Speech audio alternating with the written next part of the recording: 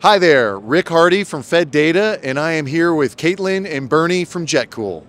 Hello, so I'm Caitlin Johnston. I am the VP of Marketing and Partnerships here at JetCool, and I am joined by Bernie Malouin, our CEO.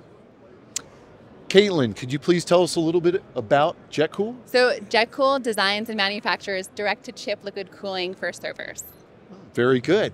Um, as one of Dell's OEM partners, what sets you aside from some of the competition?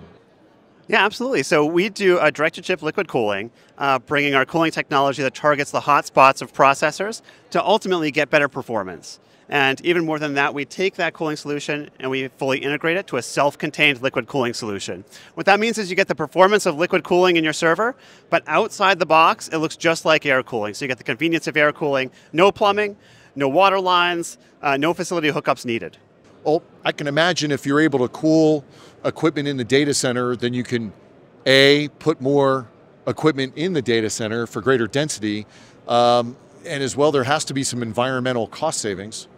Yeah, no, that's a good point too. So we're absolutely able to increase the rack density, the compute per floor tile is what we like to say, uh, by filling those racks. So you don't need the infrastructure, the CDUs or manifolds that you would with other liquid cooling technologies, allowing you to pack more compute in your racks. There's also a cost element too, where you don't need that extra equipment or the facility upgrades. That makes it a more affordable solution to adopt liquid cooling. So how would a customer go about purchasing your product? Do they work with Dell? Do they work with you?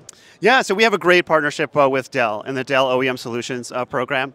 Uh, so you can work with your Dell reps uh, through the OEM Solutions program to get uh, our technology. It's actually been a great uh, partnership for us.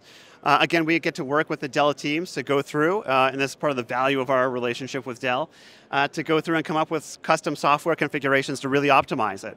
So working with the Dell teams, we can recalibrate the fan uh, controllers, ultimately saving 100 watts of uh, fan power for every server.